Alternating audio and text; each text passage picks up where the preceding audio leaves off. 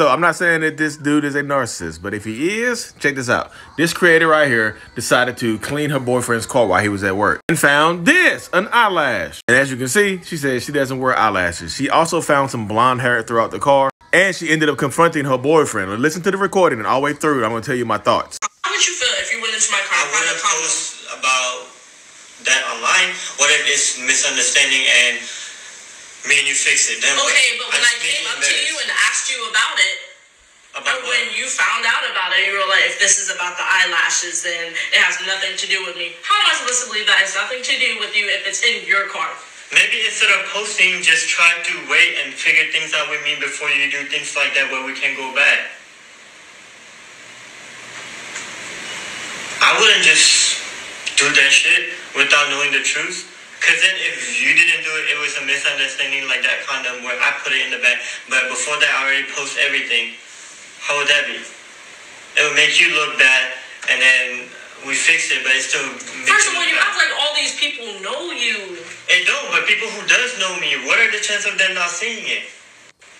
So yikes. So he saw the video before she confronted him about it. He said, look, the eyelash had nothing to do with me, even though it was in my car, and the blonde hair either.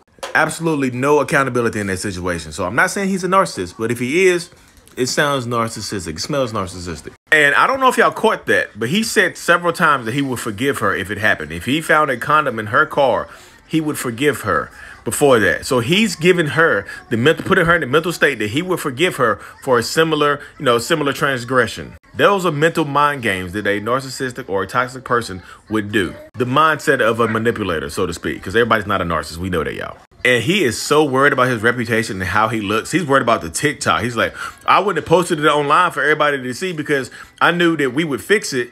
And then, but that would still happen. And you would jump to conclusions and stuff like that. I wouldn't do you like that. She said, nobody on TikTok knows you. He's like, but what about the people in real life who see it and know me? Like, what, are what happens then? What happens to me?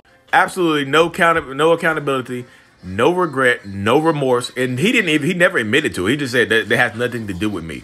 That eyelashes somehow floated into the car because you know how eyelashes are detachable. It just floated. It has wings and flew into his back seat along with the hair and stuff too. So in this situation, if you are if you are dealing with a narcissistic person and you forgive them and you take them back, you just make them better cheaters because they'll vac they'll make sure to vacuum their car out next time. I guarantee you won't you won't find another eyelash in there. New phone code, new passcode, new lock screen, new everything. You like you make you make people better cheaters when you forgive them for transgressions. When he did, he like he did he never admitted to it because he knew he was guilty. He knew he was caught. So I hope this helps. I'm gonna go vacuum my car out real quick.